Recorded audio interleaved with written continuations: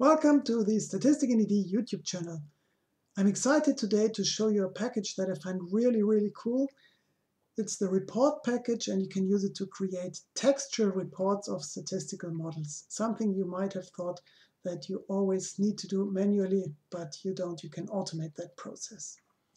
So we start right away and simply with a t-test the data I'm using today is from the Billboard package. It contains the top 100 songs for each year from 1960 to 2016. And we'll do a very simple t-test to compare average song positions of two artists. So some data preparation, and I chose Britney Spears and Maroon 5. And then the highlighted line at the bottom of this code on the left-hand side is the base R code for the t-test, the formula interface, and we run this simple test. So we see on the right hand side the output that we get. It's typical output from a statistical package, R in this case, so um, you wouldn't use that directly for a presentation and now in normal workflows we could scratch our head and try up try to come up with some prose to describe these results. We see there's a significant p-value, we get the means for the two groups, um, we get a confidence interval and so on, some parameters. Um, yeah, but what we really want is a paragraph of text that describes what we found out with this test. So if a fairy came along and granted us one wish, we might want to have a magic button that gives us this text output at the bottom from seeing the t-test at the top. So here in this presentation I have this magic button. I can just simply move my mouse to get this text paragraph and I'll show you in a moment how to do that in R and all you need to do is write one simple line of R code to get that. So this magic button is very easy to implement. And that's how to do it. I assign the t-test to an object. I call it t-test here. Of course I could write a one-liner but I think it's more readable this way. So I assign the t-test to an object and then I simply call the report function on the on this object. So it's as simple as it gets, a simple one-liner report, t-test, and we get this text for free. We can have a look at the text. We get the key results from the t-test. We get the means for the groups. And we have this nice wording. Suggests that the effect is positive, statistically significant, and large, and then some more parameters. If you take a closer look, you see that um, effect sizes are mentioned here and also which methodology is used to implement them. And here in the end, when the parameters are given, we get Cohen's d and even a confidence interval for the Cohen's d effect size parameter. This is great because effect sizes are not part of base R standard t-test output. So um, we would have had to use another package or do more calculations to get effect sizes. So here on top of the text that, that we get, we also get the effect sizes basically for free from this simple one-liner. So that's really great and we can appreciate the great work that went into this package. I'll show you a second example. Oh yes, we can also extract parts of this text. We can use this whole paragraph, of course, but if we want to extract parts of that, there are several convenience functions. I show you one here report statistics. You can check out more in the documentation of the package. So here, this just extracts the parameter part from this text paragraph. So we can access individual elements, but in many use cases it will be nice to get this whole paragraph. Let's look at a second example. We keep it simple again, a linear regression. Note that you don't have to keep it that simple. For example, GLM's generalized linear models are also supported and mixed effects models are supported and a couple of others and they may be extended in the future. But for the sake of this video, I keep it simple. I create a linear model just predicting the song position from the year to see if there's a clear trend over time for three artists that I chose here, Rihanna, Madonna, and Elton John. We regard them together. We have a subset of the data for these three artists and we want to see if there's a clear trend over time with their song positions. And we get a clear answer, no, there's no clear tr trend over time.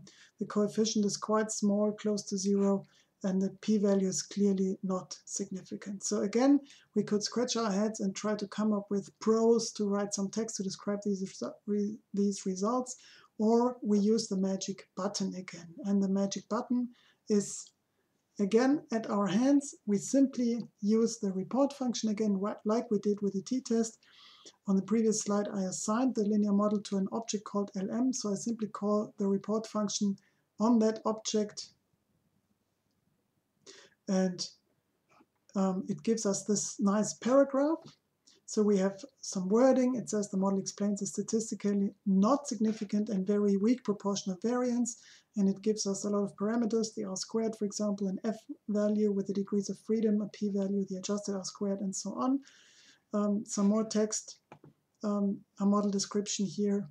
And again, like in the case of the t-test, we get additional parameters that are not part of base R's standard output for the linear model. In this case, it's the standardized parameters, and there's even a description on how they were obtained by fitting the model on a standardized version of the dataset. And again, we get confidence intervals, and also we get a note on which methodology was used to calculate these statistics. Wald approximation, also at the top, we see that the linear model was estimated using OLS, ordinary least squares. So a lot of information, very detailed and publication ready for us to use. So that's really beneficial. I hope you already see that it can be really fun using these convenience functions.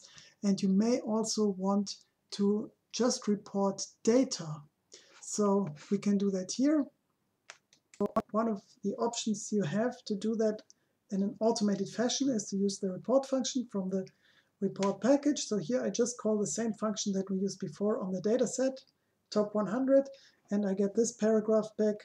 We have two types of variables here. Number, the song position, and the year are numeric, so we get distributions, means and standard deviations and so on, and also skewness and kurtosis, and percentage of missing values. And then there are two character variables in this data set, title and artist, and we get the number of categories and the most frequent category. So titles and artists are quite unique here. So the most frequent categories are still quite rare, less than 1%, but we do get um, some categories mentioned and also information on the number of categories and the missings. So this is very convenient and something we can use in our reports and publications. And lastly, it is also good practice to disclose the software you used to obtain your results. So we can use three convenience functions that I show you on this slide. Um, report system, so it shows that I was on a Windows machine here and which R version I used. Report packages, very convenient. Um, not only mention the packages, but also importantly give the package versions and the maintainers. So we can do that here. And lastly, to get more detailed information about the maintainers and all the side packages that you see at the bottom. R is included here um, and the packages we are using.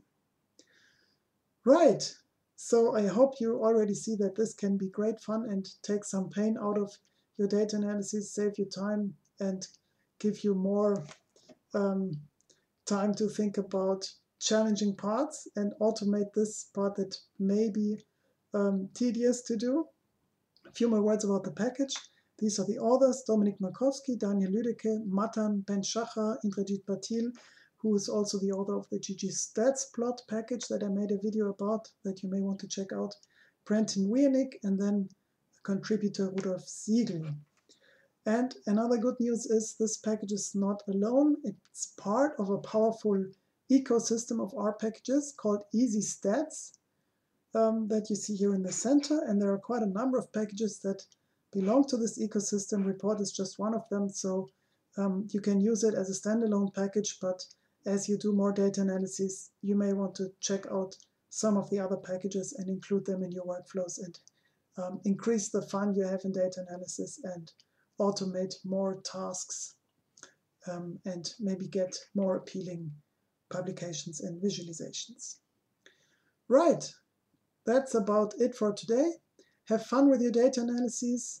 Enjoy. All the best. If you like the video, give it a thumbs up. Consider subscribing to the channel if you haven't already. Check out my other videos. See you next time. Ciao.